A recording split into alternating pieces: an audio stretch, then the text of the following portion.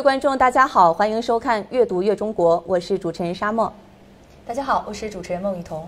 阅读月中国是由光华公益书海工程组织发起的大型融媒体公益活动，通过邀请社会企业家分享书籍，为乡村的孩子读一本书，分享人生经历和感悟，用温暖去点亮乡村孩子心里的光。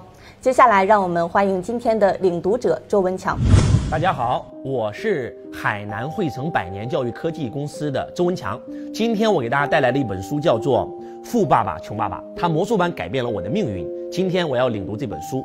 我有两个爸爸，一个穷爸爸，一个富爸爸。我的穷爸爸会告诉我说，贪财是万恶之源；我的富爸爸却告诉我说，贫困才是万恶之本。我们的学校从来没有开设有关金钱的课程，学校教育只会关注学术知识的传授和专业技能的培养，却忽略了理财技能的培训，也就是财商教育。所以，我们必须要学习财商。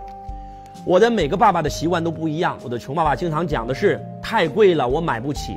而我的富爸爸禁止我说这样的话，他坚持让我讲我如何才能买得起呢？这两句话，一个是陈述句，另外一个是疑问句。一句他让你放弃，让你成为穷人；而另外一句让你不断的想办法，让你创造，让你成为富人。我的穷爸爸告诉我说我不富有，因为我有很多孩子；我的富爸告诉我说我必须富有，因为我有很多孩子。我的富爸告诉我说，贫困和破产的区别是，破产是暂时的，而贫穷是永久的。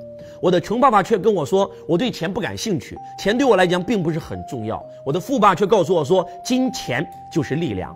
一个爸爸需要我努力学习，获得学位，希望我长大以后能够找份好工作。他希望我能成为一个专业的人士，例如成为律师、会计师，或者是去读一个商学院，读一个 MBA。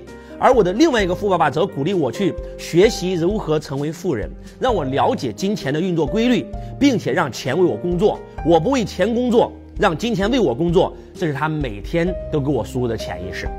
因为选择不同，命运也就不同。钱是一种力量，但更有力量的是财商教育。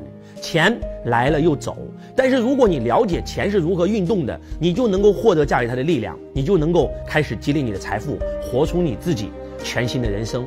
我的富爸爸给我讲了六门课程，是这六门课程让我变成了亿万富翁，让我实现了财富自由。第一课：富人不为钱工作。富爸告诉我说，穷人和中产阶级他们为钱工作了一辈子，变成了钱的奴隶，而富人是想方设法让钱为他工作。那第二课为什么要教授财务知识？那第三课叫做关注自己的事业。那第四课叫税收的历史和公司的力量。那第五课叫做富人投资。第六课叫做学会不为钱工作。希望大家一定要把这本书买回去，好好看。富爸爸穷爸爸，周老师向你隆重推荐。